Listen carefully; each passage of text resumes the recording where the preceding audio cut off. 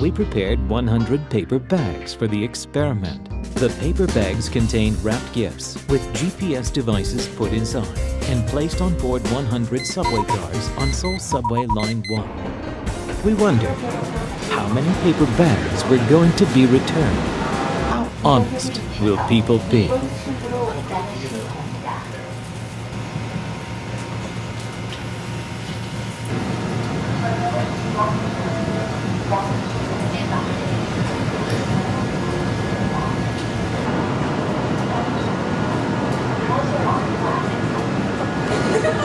On this day, we witnessed embarrassing moments conflicting with this belief.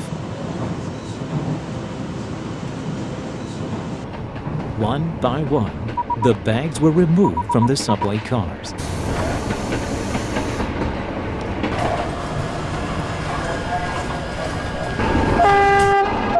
The day had passed, and the 100 subway cars had returned to the final station. How many of the bags returned untaken?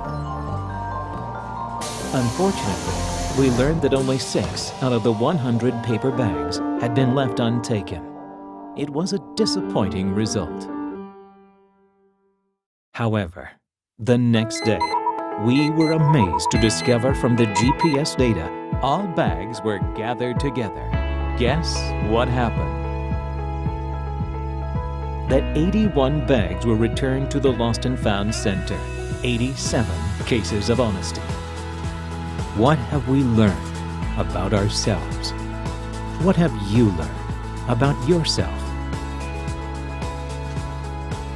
We are honest. You are honest.